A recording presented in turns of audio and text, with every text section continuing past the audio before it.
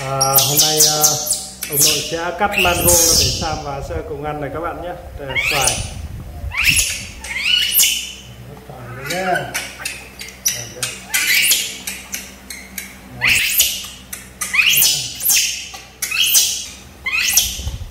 Đây, chúng ta lên.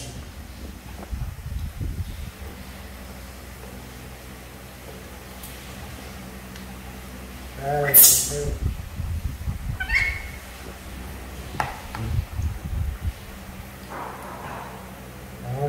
Rồi, ăn ăn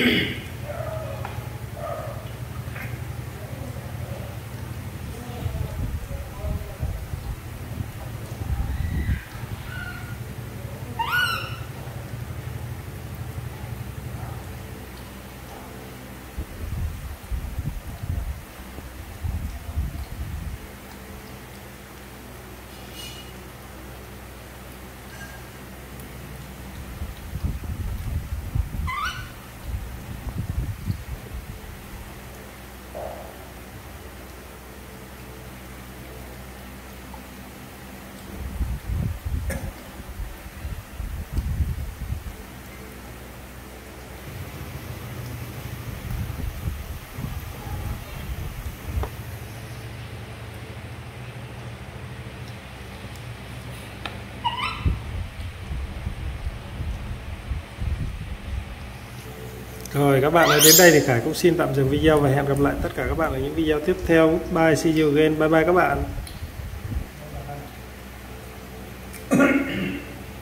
Rồi, bye bye.